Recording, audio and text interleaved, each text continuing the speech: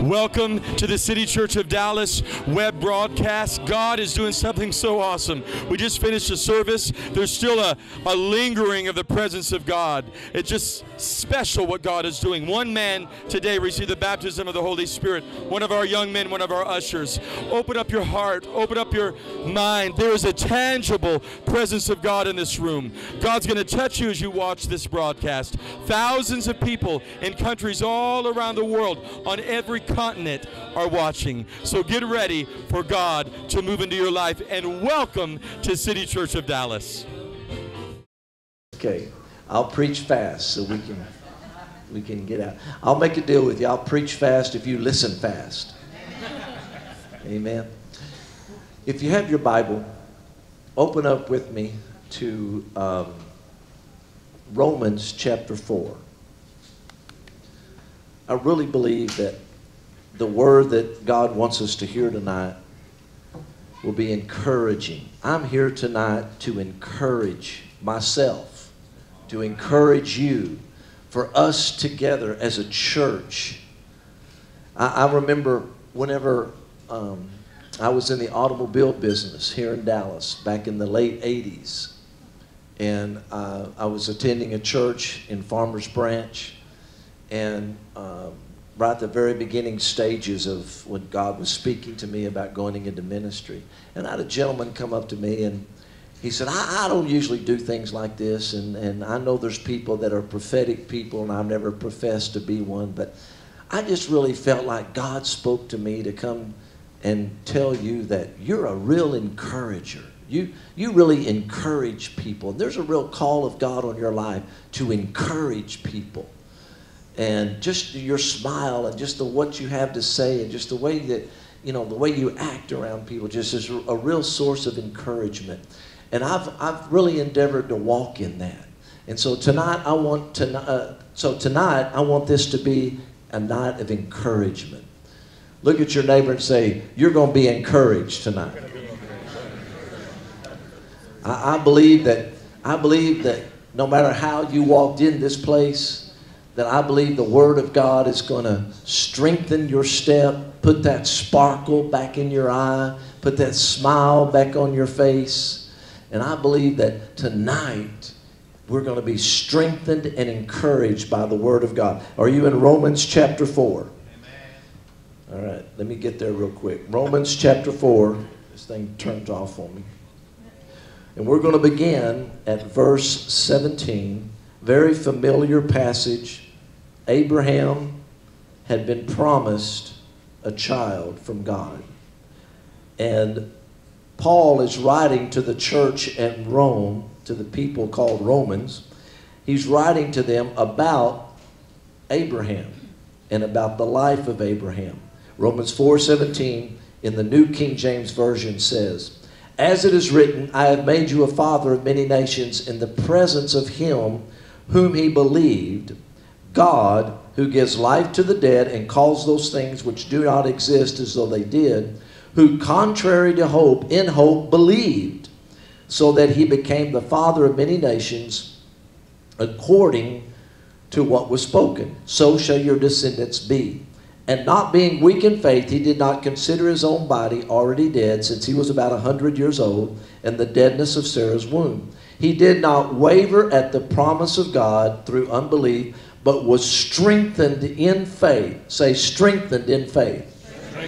He was strengthened in faith, giving glory to God and being fully convinced that what he had what God had promised, God was able to perform. Do we believe that tonight? Do we believe that what God has promised, God is able to perform? Do we believe that tonight? Okay. Now go with me to um, Isaiah, a real prophetic thought from Isaiah chapter 40. Isaiah chapter 40. Phil Driscoll did a song from this passage many moons ago. Isaiah chapter 40, verse 29. Isaiah 40, 29 in the New King James Version says this. If you're there, say amen. If you're not there, say, wait a minute. Okay. Isaiah 40, 29. God gives power to the weak, and to those who have no might, he increases strength. What does God increase? God gives power to the weak. God gives what to the who? He gives power to the weak. God gives power to the weak, and to those who have no might, he increases strength.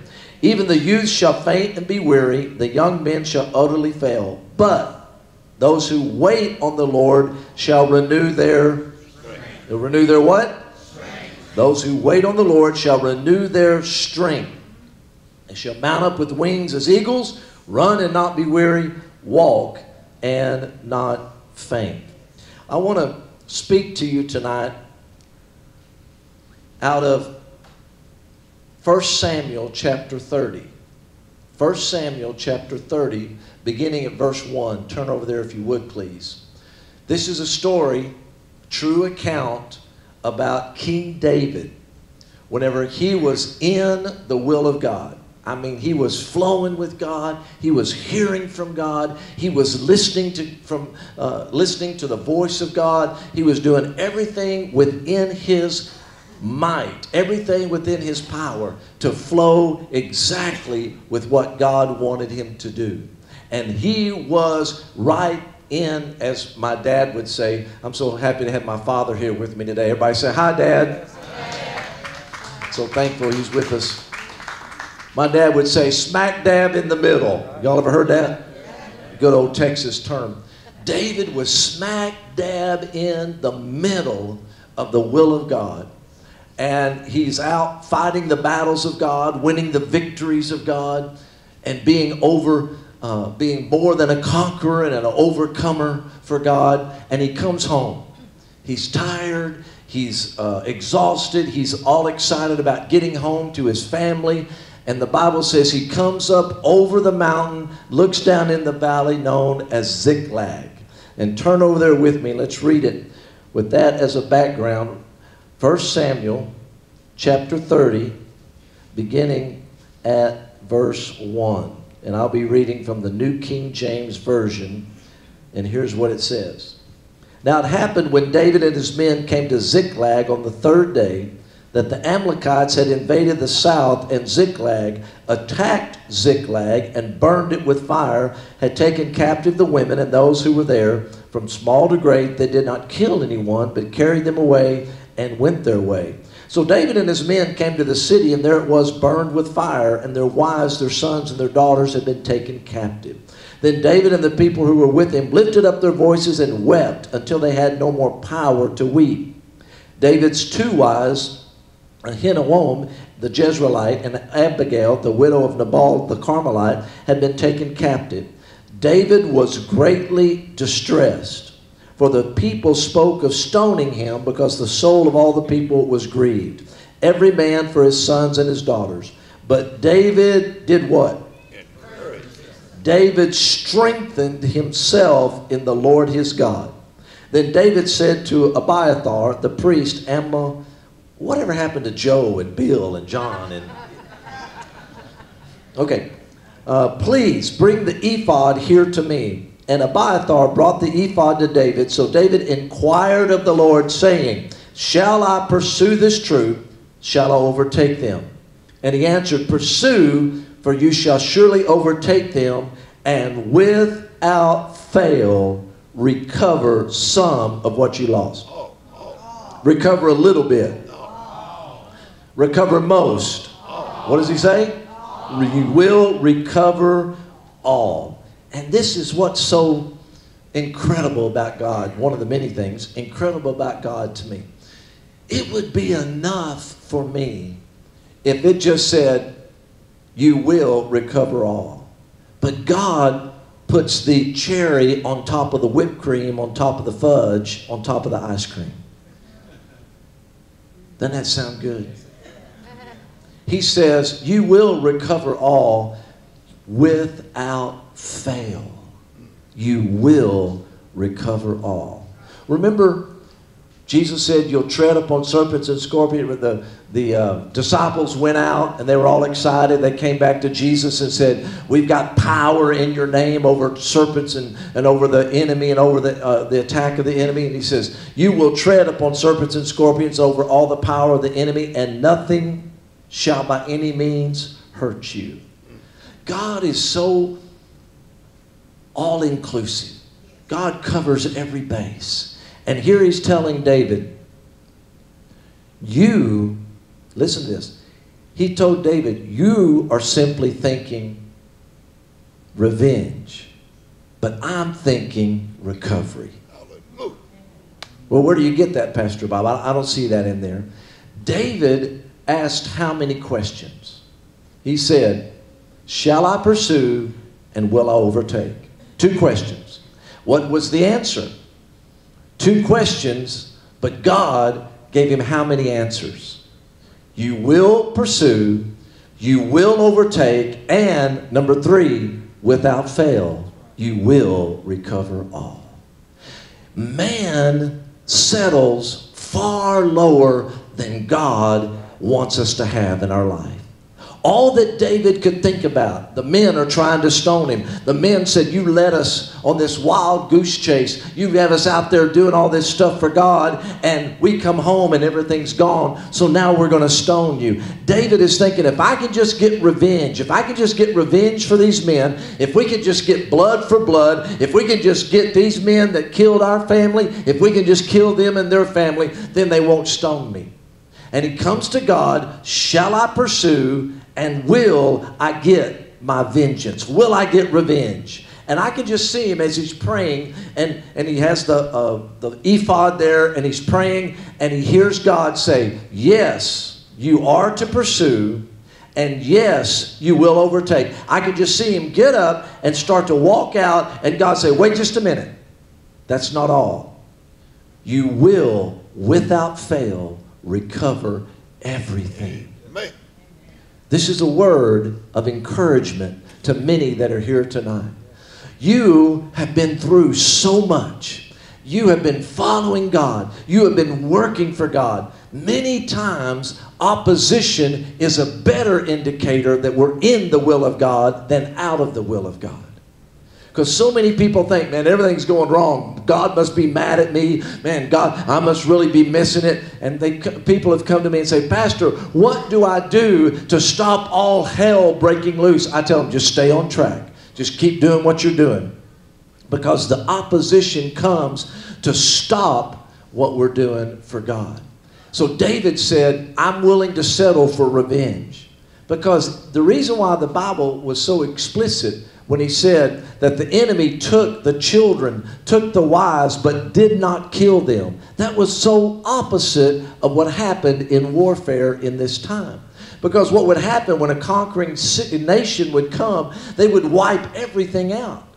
They would kill the men and the women and the children. So David, when he saw everything burned, he just naturally thought, they've killed everybody. There's nobody alive. There's nothing left. I have nothing to fight for but revenge. And God says, Yes, you have a lot more to, revi- to fight for. You're thinking revenge, I'm thinking recovery. So, whatever you've been thinking about your situation, Isaiah says God's ways are higher than our ways, God's thoughts are higher than our thoughts. So, I want to encourage you tonight God has a plan for your total recovery. God has a plan for you to recover everything that's been lost, everything that's been stolen, everything that's been given up. And I, I really think that tonight, there's many here not struggling so much with, with what's with what's I can get back, but struggling with is it still alive? Is my dream. See, David was thinking his, his sons and daughters and his wives. Here tonight, I think many people are thinking, is my dream still alive? Is the plan that God had for my life still alive? Is the vision that I had, is the call of God still on? Is my purpose still alive? And I'm here to tell you, yes, they are. I'm here to encourage you, yes, the God's plan for you is to recover all without fail, You will not fail in this recovery attempt. Because so many people, they struggle with fear. They struggle with trepidation, anxiety. You know, I really want what God has for me. I really want to recover. I really want restoration, but I don't want to fail again. I don't want to go through the heartache again. I don't want to go through the trial again. And I'm here to encourage you tonight. Yes, you are to get up. You are to pursue, you are to go after it, and without fail, you will recover everything that's been lost. That dream is still alive. That hope is still alive. That plan of God for your life, that purpose, that assignment is still alive. But, Pastor, you don't know how long it's been dead. You don't know. Jesus came to a woman that was bent over with a spirit of infirmity for 18 years. Didn't matter. Jesus met a man by the pool that had been there for 30 years. Didn't matter. It doesn't matter how long it's been. It doesn't matter how far you've gone. It doesn't matter how dead it looks. You will recover all in Jesus' name. Do you believe that tonight? Now, he said, You are to pursue, you are to get up, you are to pursue. This is God's plan for our recovery. And here's the thought God has the plan, but we have to make it happen. I want to encourage you tonight. You have the strength to recover all. God gives power to the weak, and to those who have no might, He does what? He increases their strength. Abraham had been waiting for a son. We read it, Romans 4. Abraham had been waiting for a son for over 25 years. Many theologians think it was over 25 years. And the Bible says he was strengthened in his faith. He, was a, he had the ability to stand in his faith because God gave him the strength to do that. God gives us the strength to go after our recovery. And I want to just go through a little simple, a few steps here, how to get everything back, how to recover all. Because God does the work, but we have to do the walk. Did you catch it? God does the work, but we have to do the walk. We have to go after it. Look at your neighbor and say, We have to go after it. We have to go after it. David asked, Do I pursue? I, I want direction here. What, what, what's the plan? God says, Here's the plan, and here's how you're going to go about it. You will pursue and you will overtake. But if David would have sat there, if David just would have sat there, there would have been no recovery, right? If he just would have sat there, he had to get up and he had to go after it. And I want to encourage you tonight you've got the strength to go after it. You've got everything you need to go after it. And now here's the plan. Here's how we do this. Look at uh, Luke chapter 4. I'm just going to read these real quick to you, give them to you real quick. Luke chapter 4, beginning at verse 1. Luke chapter 4, verse 1 says, Jesus was filled with the Spirit and led into the wilderness to be tested by the devil. Jesus was filled with the Spirit and he was led into the Spirit. Here's the led into the wilderness. Here's the key. Whatever you're filled with is what you'll be led by. Whatever you're filled with is what you will be led by. And I talk to so many believers. I mean, I, I, I, I really work at, at surrounding myself with, with positive influence and with, with ministers and with people that will encourage me and, and will lift me up. But I talk to so many believers, man, I, I just, and so many ministers, man, I just, I, I've got to get some time because, man, my DVR is getting so stacked with, I got eight episodes of this and I got eight episodes of that and, and I got a 12 episodes of this and I'm just going to have to take a whole weekend and just get, get caught up on what's on my DVR. And I just think, whatever I'm filled with, that's what I'm going to be led by. Am I filled with what's on my DVR? Or am I filled with the Spirit? See, we're telling on ourselves. Way too many times we tell on ourselves. And we cry out for help and we say, I, I just don't know. I think I've heard from God, but, you know, I, I, I'm thinking God's telling me something, but it, it may be the devil telling me something. I don't know if it's God telling me to do this. I don't know if it's the devil telling me. If I receive a phone call from my son who's been in my life for 24 years, he doesn't have to say, Hello, this is David, your son. Dad, are you there? What does he do? He says, Hello, and I instantly know who it is. Why? Because I have a relationship with him. I hear a hello from him, and I don't look to the person in the car with me. I think this is my son. I don't know. It might not be my son. Somebody's telling me hello. I, want, I wonder who this is. No, I instantly know who it is. Amen, Pastor. That's good preaching. I appreciate that. That's a good word. I amen my own self. What I am filled with is what I will be led by. Jesus was filled with the Spirit, so he was led by the Spirit. Do I really want to be filled with ABC, NBC, CBS? Do I really want to be filled with ESPN or anything else, CNBC, MSNBC? You know, have they found the plane yet?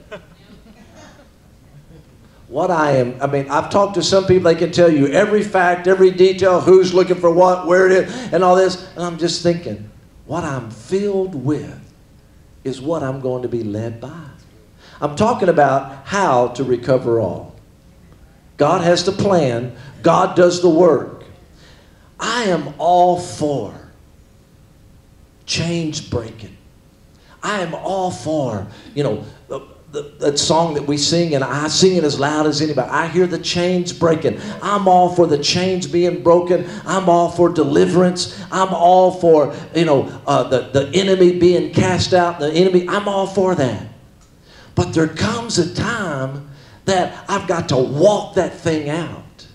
There comes a time that I have to get out of the victim mentality and get realize I've been a volunteer. Is that okay if we, if we talk real tonight? And see, the enemy will allow us to keep on in that mentality. You know, so many things we declare, man, the devil's got this on me and the devil's beating me up and the devil and the devil's just sitting back going, I didn't do it, but I'll take the credit. I had nothing to do with it, but hey, I'll take the credit. You bet. That's right. I'm the one that did it. And the devil didn't have anything to do with it. Many things we declare that I've got to have change broken off of, they are listed in Galatians chapter 5 as works of the flesh. Amen? And that's where I've got to walk this thing out.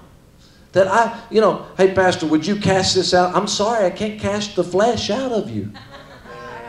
You and me together, we have to cast the flesh down. Paul said that we crucify and mortify the flesh daily. That we make a decision that we're going to cast that thing down and not walk in the flesh. Does that make sense? See, Paul put it this way if you walk after the Spirit, then you will not struggle with the flesh. But if we walk after the flesh, then that's where the struggle is going to be. God does the work, but we have to do the walk.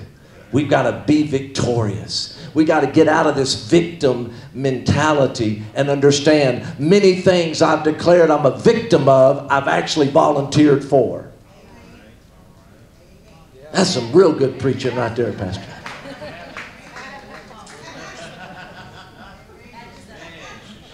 Is that okay? Let's, let's understand that we've been strengthened over those things. God gives power to the weak. Well, Pastor, this is just a weakness I have. That second piece of coconut pie, that's just a weakness I have. You know? I'm sorry, that, that triple dip at Braum's instead of the double dip at Braum's, that's just a weakness I've got. You've been strengthened over that weakness. God gives power to the weak, and to those who have no might, He increases their strength. Amen? And many of that stuff, many of those things that we're dealing with, we're struggling with, I'm sorry, Flip Wilson had it wrong. The devil didn't make you do it. We, we volunteered for it. We did it to ourselves. See, Paul said, don't be ignorant of Satan's devices. Don't be ignorant of the schemes and the wiles that take. And Satan comes on there and says, Yeah, that's right. I've got dominion. That's right. You're right. I am the one doing all that. And all the time, he had nothing to do with it.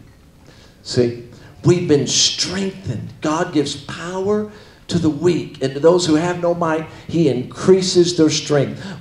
Abraham was strengthened in his faith. And it's my prayer tonight that you will be strengthened in your faith, that I will be strengthened in my faith, that we as a church will be strengthened in our faith, and we'll be able to overcome the works of the flesh and walk away from that thing that's holding our recovery back. Does that make sense? All right what I am led, filled with is what I will be led by. Look at somebody, look at your neighbor and say, get filled with the right stuff. Second Kings chapter 3, verse 16. Second Kings chapter 3. We're talking about how to walk this out.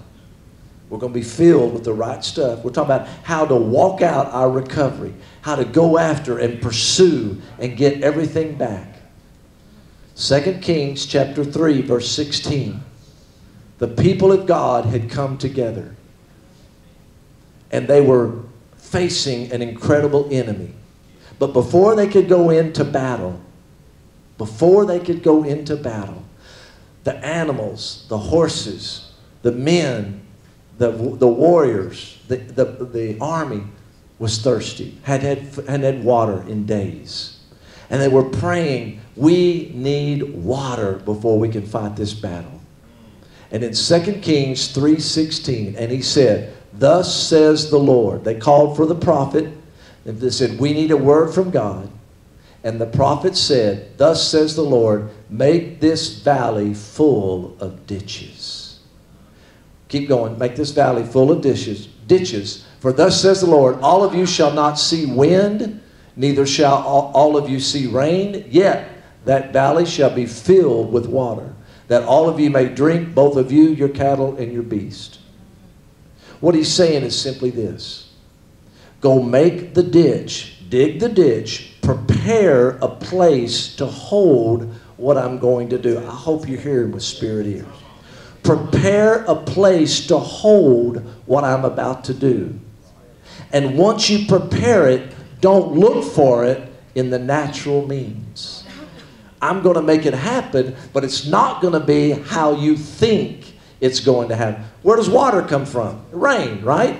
So, okay, we're going to dig this ditch, and then we're going to start looking for clouds. We're going to dig this ditch, we're going to start looking for the wind, because God's going to bring a big storm, and that's where the water is going to come. No, God says, don't do that. God says, don't look for natural means. Don't look for it to be done the way you think it should be done. So, what I'm asking us to do tonight, I'm asking us to dig the ditch in our life.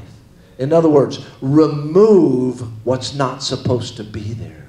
Remove what we're holding on to that's in the way of God bringing what we need in our lives prepare a way, prepare a place to hold what God is about to do.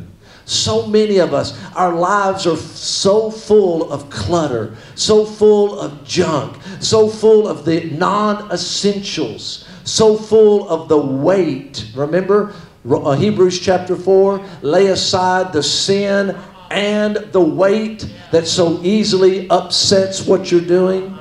The sin we know The sin, those things we're, we're, we're well familiar with, but the weight are those things that aren't necessarily bad, but are they really good? Are they really necessary? So, so right here, what God is speaking to us, how we recover all, we get rid of the clutter, get rid of the mess. So many of us, our mess is stopping God's message from working in our lives. And we've got to get rid of that mess.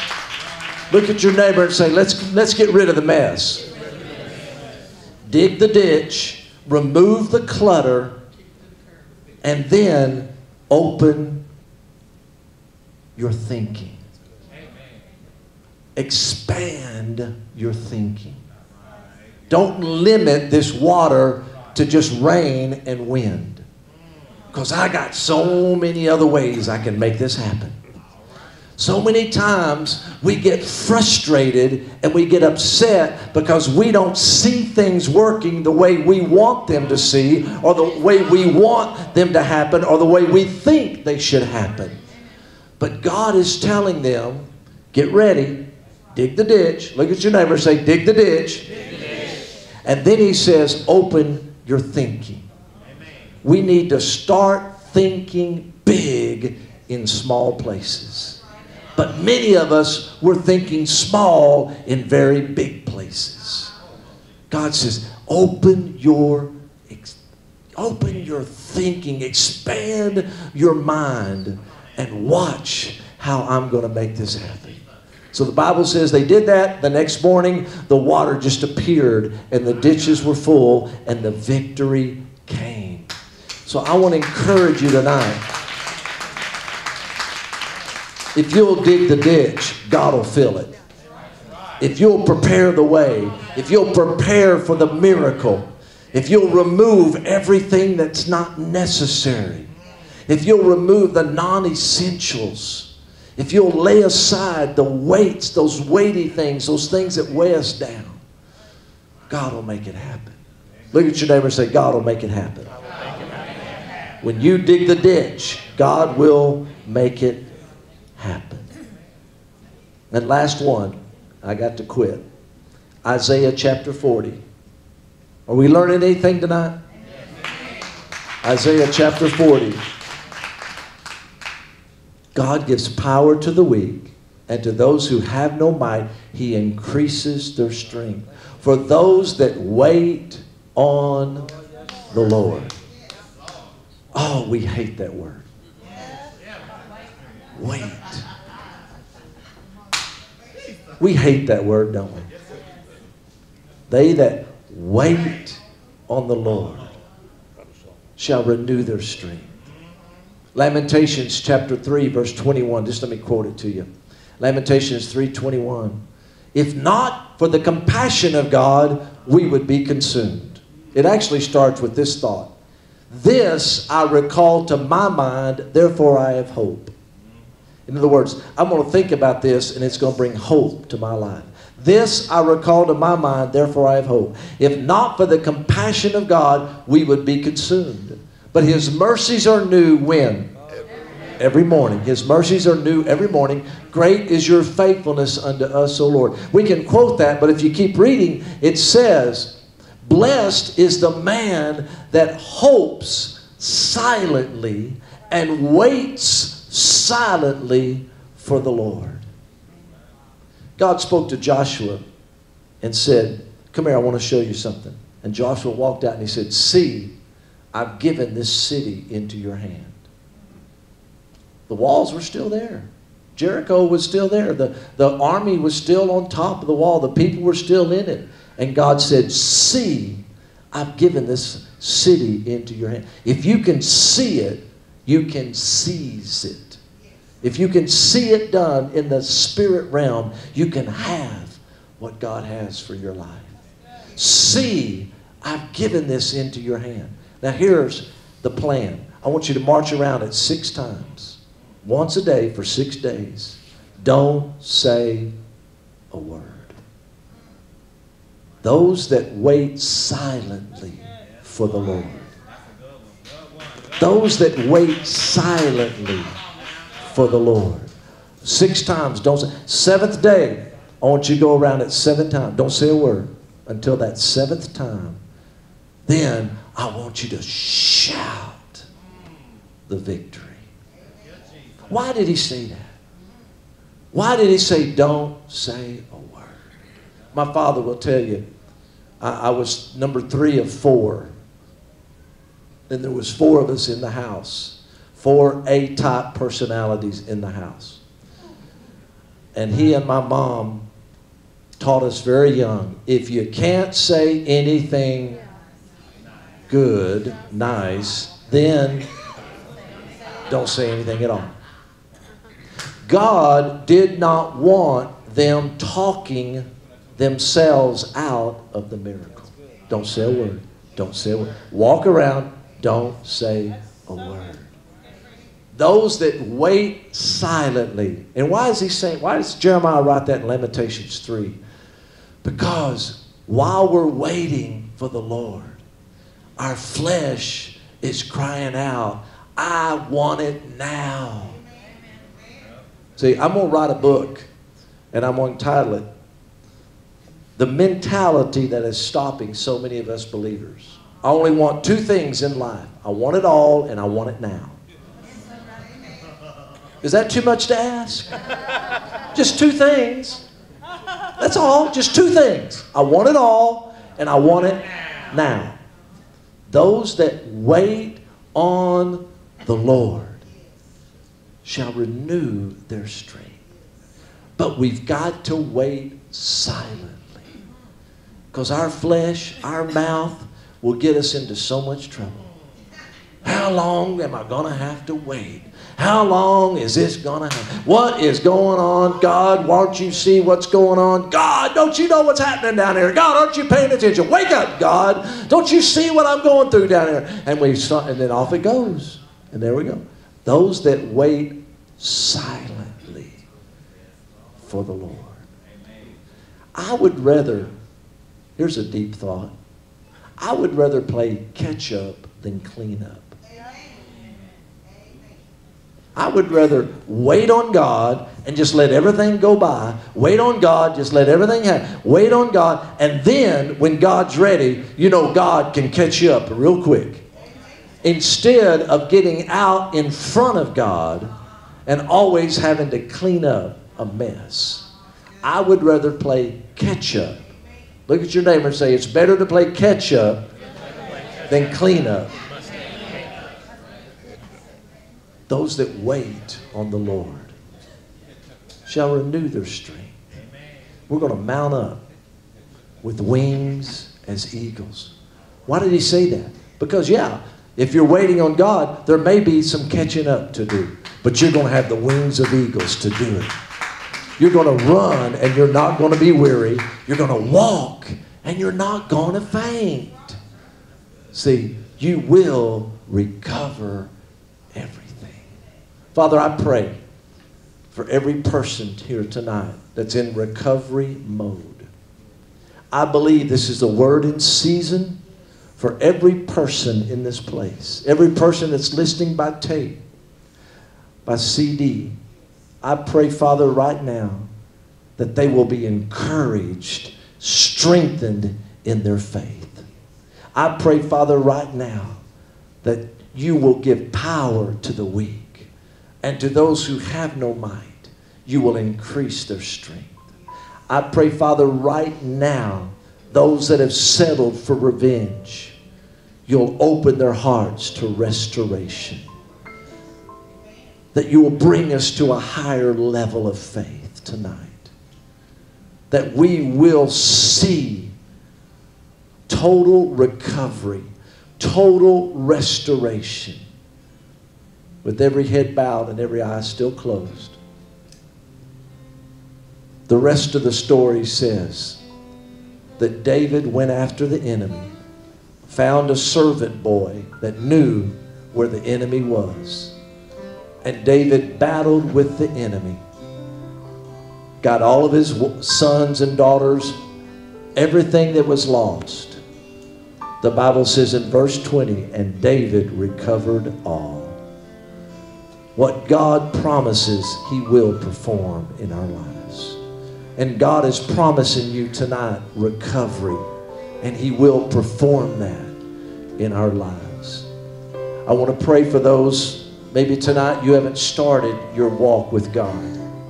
You're here tonight, no one's ever told you the good news gospel. Number one, the gospel in 60 seconds is very simply this. Number one, God loves you. Right where you are, God loves you. No matter where you've been, what you've done, God loves you right here, right now. Number two, sin separates us from that love. Mistakes, failure, bad choices. Number three, Jesus is real. He really was born of the Virgin. He really did die on the cross. He really was raised on the third day to destroy the power of sin off of your life. And number four, whosoever calls on the name of the Lord, you will be saved. And we're going to give you that opportunity to call on the name of the Lord. Maybe no one's ever shared that with you. No one's ever explained the good news gospel.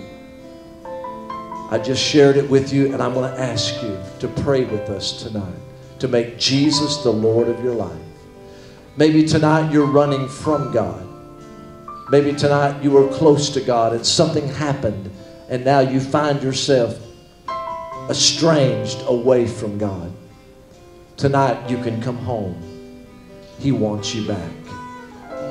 If you're here tonight and you say, Pastor, that's me. I want to make Jesus the Lord of my life. Pastor, I want to come back to Jesus tonight. Would you simply just lift your hand so we can pray with you? Hands going up everywhere. Just keep that hand lifted. Let's all pray this together. Maybe your hand's not lifted, but you can pray it with us. Let's all pray it out loud. Say, Father God in heaven. Come on, pray it out loud. Father God in heaven, I ask you now Forgive me of my sin. I've missed it.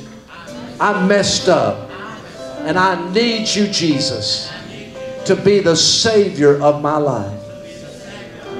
I confess tonight with my mouth and I believe in my heart that Jesus is Lord and that you raised him from the dead. And I thank you now I am born again. I am forgiven. I'm on my way to heaven. And I pray right now, fill me with your Holy Spirit in Jesus' name. Amen and amen. Let's thank Him for it today. A new beginning, a new start, a new season, a new life is ours in Christ Jesus. Amen. I want to, like I started tonight, I want to finish with this thought. Be encouraged. Romans chapter 8 so definitively says, God is on your side. If God is for us, who can be against us? Right? Say that with me. If God is for us, Come on, say it like you're yelling at your kids. If God is for us, who can be against us? Nothing, no one, nobody can be against us because God is for us. And God is for this church. God is for this church. And I want us to, before we leave, one more thing. I want us Thank you so much for watching this web broadcast of City Church of Dallas. God is doing so many things. It's blowing my mind. I thought we would be a local church, but we've become an international church through the internet. So, what I want you to do, we have people in Iowa, people in Michigan, people all over this country that are sending in support. And because our church is bigger than this room that we're in, and you can feel the actual presence of God and you are ministered to right over the internet. So if God should lay it on your heart, I want to encourage you to tithe. If you don't have a home church, if you have a home church, tithe there. If you don't, send your tithe in here to City Church of Dallas. Go to City Church of Dallas. This is how you spell it com. You can pay on PayPal there, a secure website, or you can send into the address or call in your gift. I promise you, lives are being changed through our prison ministry, nursing home ministry, our AIDS ministry. We feed the hungry, and God is really doing something special. But we're only a little bit more than a year old, so we need people to give. God bless you. I appreciate it with all of my heart.